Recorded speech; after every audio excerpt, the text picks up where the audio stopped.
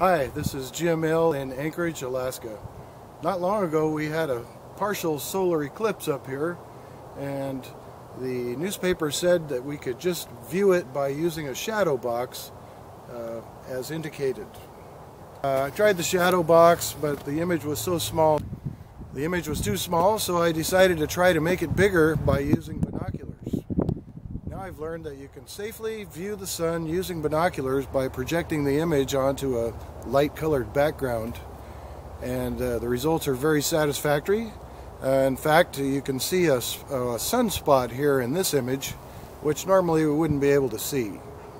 So just something you might want to try sometime. Uh, just be sure you don't actually look at the sun with the binoculars. Of course, that would cause you to go blind.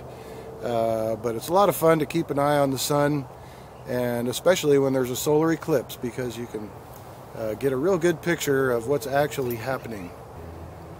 Here in Anchorage we're at 61 degrees latitude which means that we have long dark winters and short extreme summers. So we really like to be able to know what's going on with the sun and solar eclipses, uh, sun dogs, sunspots, all those things are very interesting for some of us. Another celestial event that's coming up soon is a transit of Mercury across the face of the sun. That will be May 9th of this year, 2016. Uh, it'll be difficult to see, but you should be able to see it with binoculars if you use a tripod and if you know the exact time because it happens quite quickly. Thank you and be careful.